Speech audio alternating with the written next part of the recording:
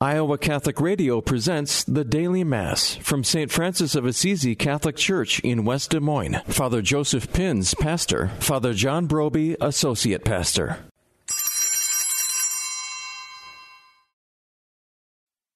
If you, O Lord, should mark iniquities, Lord, who could stand? But with you is found forgiveness, O God of Israel. In the name of the Father, and of the Son, and of the Holy Spirit. The grace of Jesus Christ, the love of God, the communion of the Holy Spirit be with you always. It is great to be here today to celebrate these great mysteries, these great mysteries that Christ has brought to us. But before we begin, let us take time to recall our sins and our failures to better prepare ourselves for these mysteries.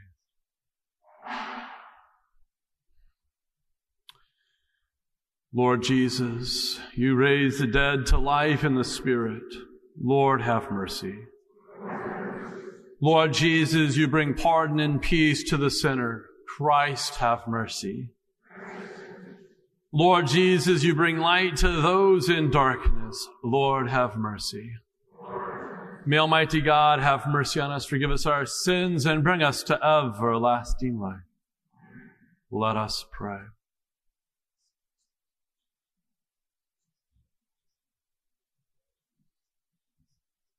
May your grace, O Lord, we pray, at all times go before us and follow after, and make us always determined to carry out good works.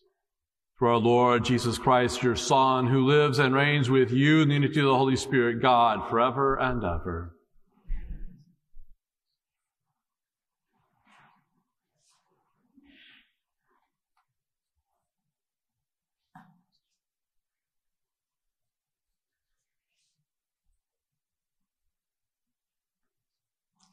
A reading from the letter of St. Paul to the Galatians. Brothers and sisters, if you are guided by the Spirit, you are not under the law. Now the works of the flesh are obvious immorality, impurity, licentiousness, idolatry, sorcery, hatreds, rivalry, jealousy, outbursts of fury, acts of selfishness, dissensions, factions, occasions of envy, drinking bouts, orgies, and the like. I warn you, as I warned you before, that those who do such things will not inherit the kingdom of God. In contrast, the fruit of the Spirit is love, joy, peace, patience, kindness, generosity, faithfulness, gentleness, and self-control. Against such there is no law. Now those who belong to Christ Jesus have crucified their flesh with its passions and desires. If we live in the Spirit, let us also follow the Spirit. The word of the Lord. Thanks be to God. Those who follow you, Lord, will have the light of life. Those who follow you, Lord, will have the light of life. Blessed the man who follows not the counsel of the wicked nor walks in the way of sinners, nor sits in the company of the insolent, but delights in the law of the Lord and meditates on his law day and night. Those who follow you, Lord, will have the light of life.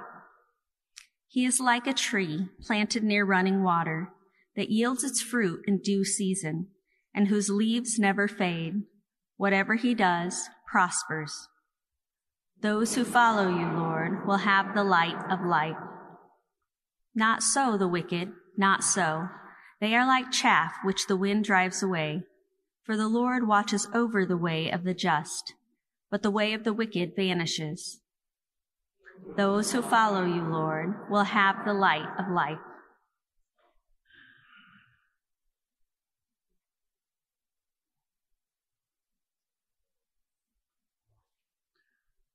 The Lord be with you. A reading from the Holy Gospel according to Luke.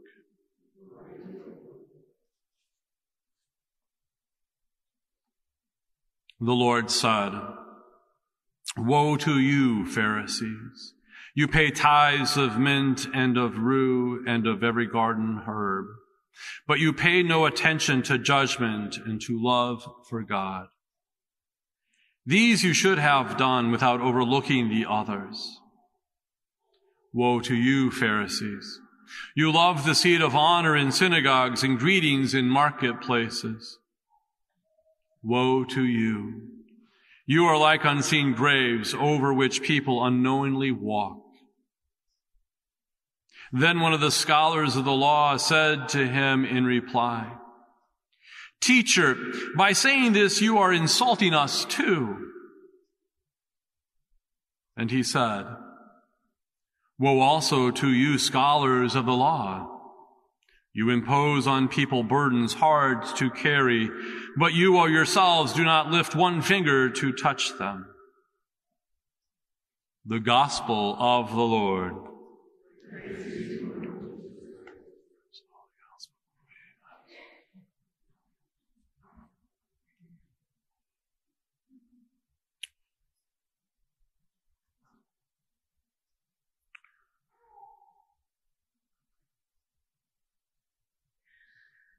Today's reading from Galatians, St. Paul writes to us about the works of the flesh and the works of the Spirit.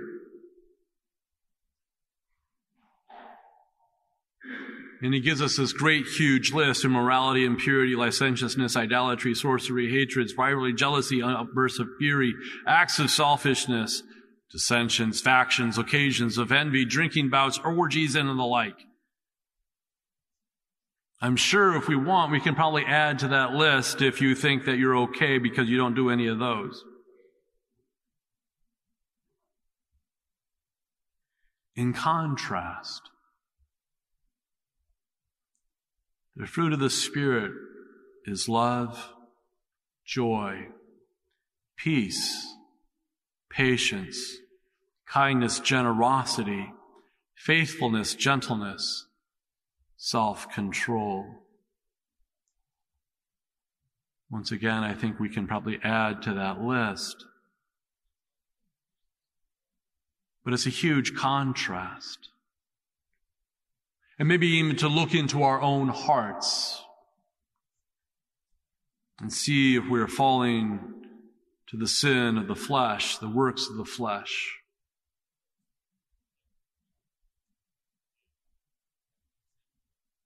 And whatever it might be, whatever, whatever's tripping you up, look for that work of the Spirit to contrast it. So the Spirit is love. So if you have hate, if you have anger in your heart, even for a few seconds throughout the day, to bring that love back. To really work and ask the Holy Spirit to give you that love, that joy, that peace. If we're being impatient, impatient in traffic, impatient with our family, impatient with our coworkers, ask the Holy Spirit to give you that great virtue of patience, kindness, and generosity.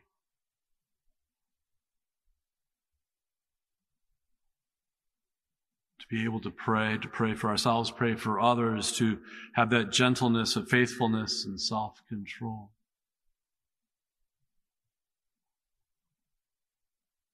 And then, when we get to the gospel story today, we're not called a Pharisee or a scribe or a scholar of the law. Jesus isn't saying to us, Woe to you, parishioners of St. Francis. He's saying to us, Well done, good and faithful servant.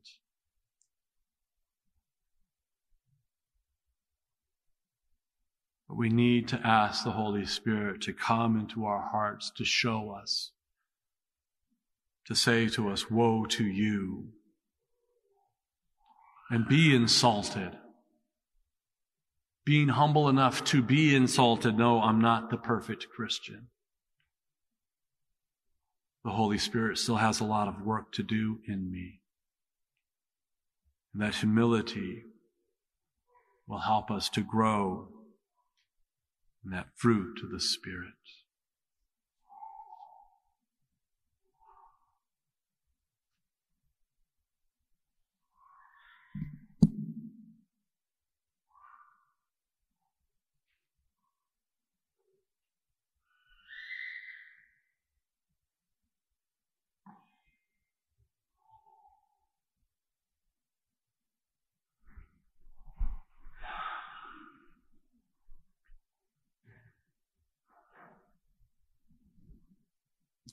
Heavenly Father, we humbly come before you to offer you our prayers and our petitions.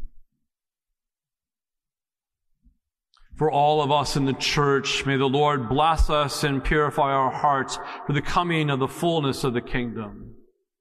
We pray to the Lord. For civic and world leaders, may God grant them wisdom, compassion, and integrity in serving their communities. We pray to the Lord. For couples who are struggling with difficult relationships, may the Holy Spirit guide them in reconciliation. We pray to the Lord. For this faith community, may God help us to grow in charity and kindness and the fruits of the Spirit. We pray to the Lord.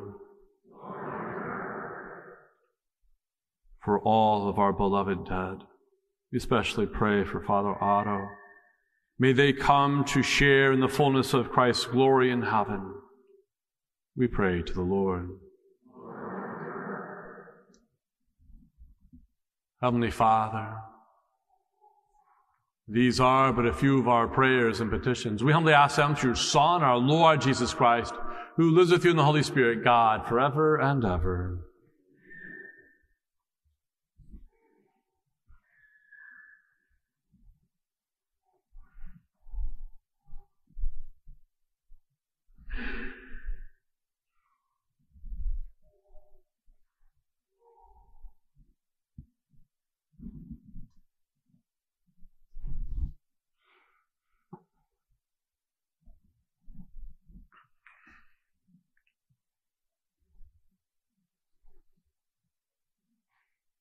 Blessed are you, Lord God of all creation, for through your goodness we have received the bread we offer you, fruit of the earth and work of human hands.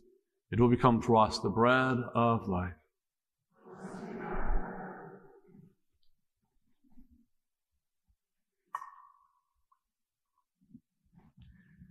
Through this water, wine comes share to be the presence of the share in our humanity.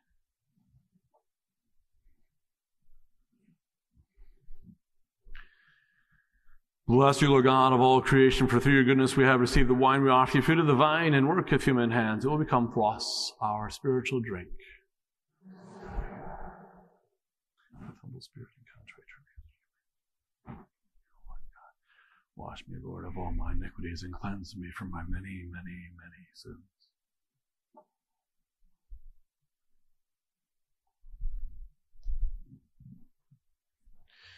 Pray, brothers and sisters, that my sacrifice and yours may be acceptable to God, the Almighty Father.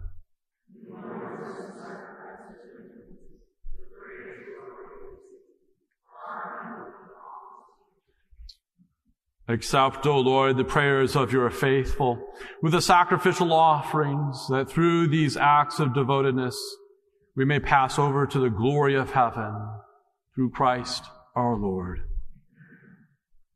The Lord be with you. Lift up your hearts. Let us give thanks to the Lord our God. It is truly right and just our duty and our salvation always and ever to give you thanks, Father most holy, through your beloved Son, Jesus Christ, your word through whom you made all things, whom you sent as our Savior and Redeemer incarnate by the Holy Spirit and born of the Virgin. Fulfilling your will and gaining for you a holy people, he stretched out his hands as he endured his passion, so as to break the bonds of death and manifest the resurrection. And so with the angels and all the saints, we declare your glory as with one voice we acclaim. Holy, holy, holy Lord, God of hosts. Heaven and earth are full of your glory. Hosanna in the highest. Blessed is he who comes in the name of the Lord. Hosanna in the highest.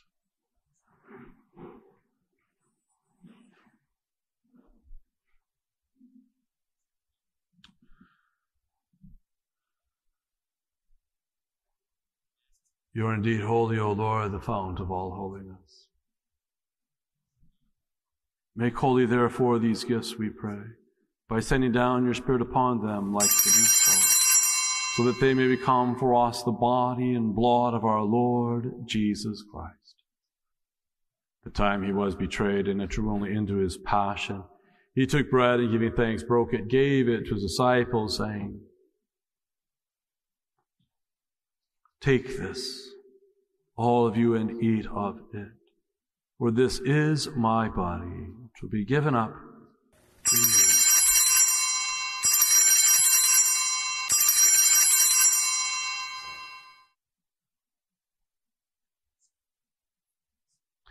In a similar way, when supper was ended, he took the chalice and once more giving thanks, he gave it to his disciples, saying,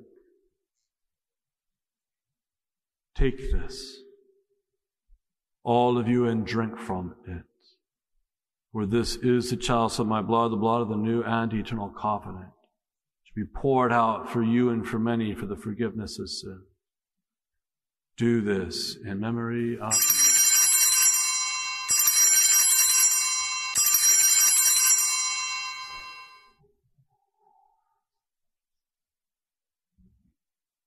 The mystery of faith. Save us, Savior of the world, for by your cross and resurrection you have set us free.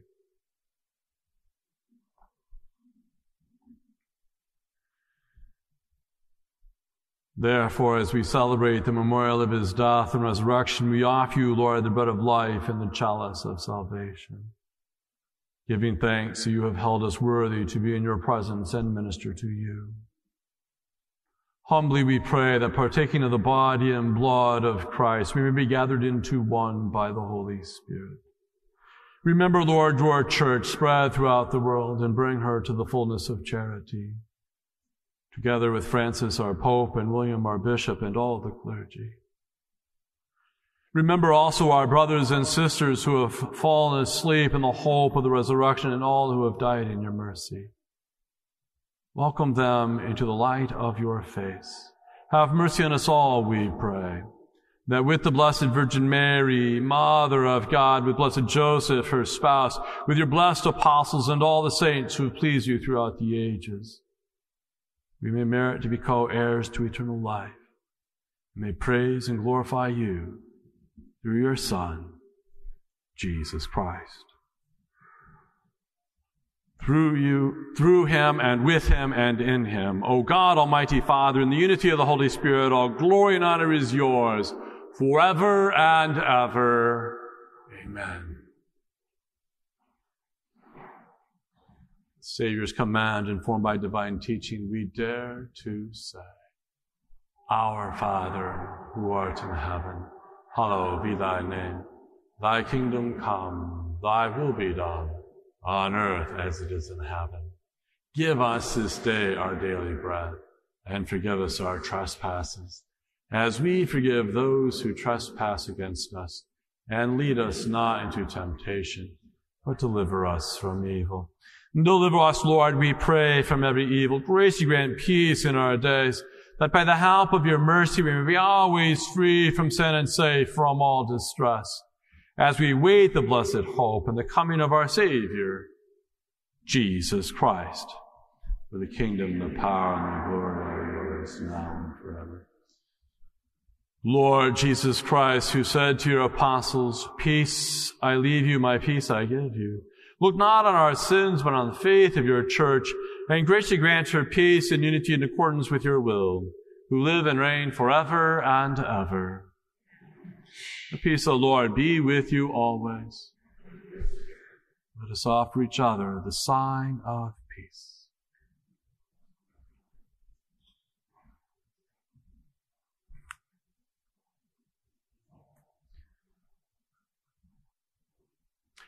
Lamb of God.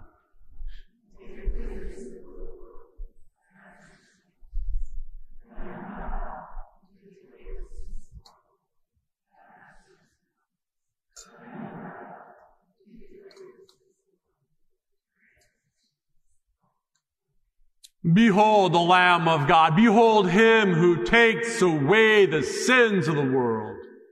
Happy those called to the supper of the Lamb.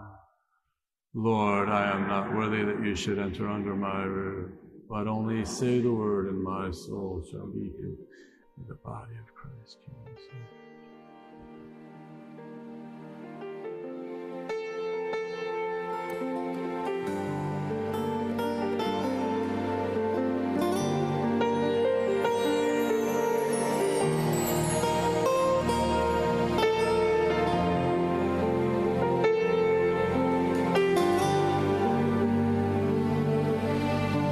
My Jesus, I believe that you are present in the most blessed sacrament. I love you above all things, and I desire to receive you into my soul. Since I cannot now receive you sacramentally, come at least spiritually into my heart. I embrace you as if you were already there, and unite myself wholly to you. Never permit me to be separated from you. Amen. Communion antiphon. The rich suffer want and go hungry, but those who seek the Lord lack no blessing. Let us pray. We entreat your majesty most humbly, O Lord, that as you feed us with the nourishment which comes from the most holy body and blood of your Son, so you may make us sharers of his divine nature, who lives and reigns forever and ever. The Lord be with you. The Almighty God bless you, the Father, and the Son, and the Holy Spirit. Our Mass is ended. Go in peace, glorifying the Lord by your life. You've been listening to the Daily Mass from St. Francis of Assisi Catholic Church in West Des Moines on the Iowa Catholic Radio Network.